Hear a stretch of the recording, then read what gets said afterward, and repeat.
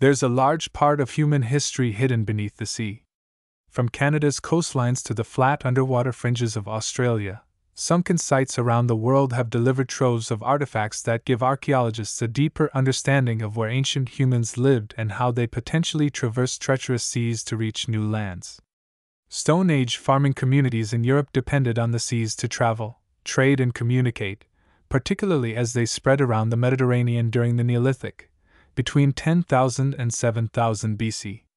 But remnants of their technological prowess have been submerged in lakes and lagoons, or buried in soggy peat bogs, making them difficult to find. Now, a team of researchers led by archaeologist Juan Gibaja of the Spanish National Research Council has described a quintet of canoes dredged up from a Neolithic lakeshore village near Rome, Italy, that revealed the sophisticated boat building techniques of seafaring communities in the region. Direct dating of Neolithic canoes from La Marmota reveals them to be the oldest in the Mediterranean, the researchers said in a statement.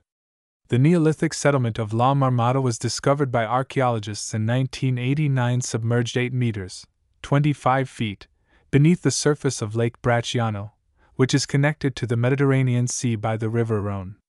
Excavated between 1992 and 2006, and again in 2009, the site and parts of its wooden dwellings have been exceptionally preserved by mud and water, along with an enormous collection of wooden tools used to weave textiles, fibrous baskets for carrying food, and five dugout canoes.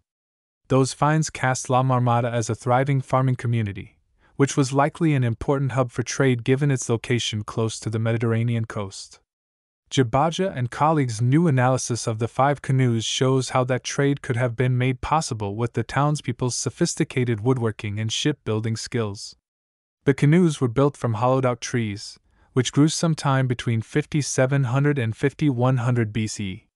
Measuring an estimated 11 meters, 36 feet, in length, one of the boats, which happened to be made of oak, was considered to be much larger than needed to cross Lake Bracciano. The other four canoes weren't much smaller, from more than 4 meters to 9.5 meters long, with two made of alder, one of poplar, and one of beech, the researchers found.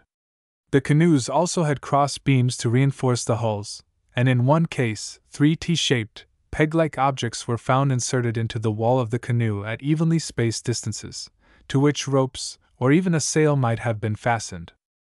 There must have been people who knew how to choose the best trees, how to cut the trunk and hollow it by burning out its middle, and how to stabilize the dugout with transversal reinforcements on its base or perhaps by the use of side poles or even parallel canoes in the form of a catamaran. The researchers write in their published paper. Those strategies would have provided greater safety and stability, and greater capacity for the transport of people, animals, and goods. Considering the similarities of these features to more recent nautical technologies, the researchers suspect many major advances in sailing must have been made during the early Neolithic, and that there may be more boats preserved deeper in the mud of Lake Bracciano.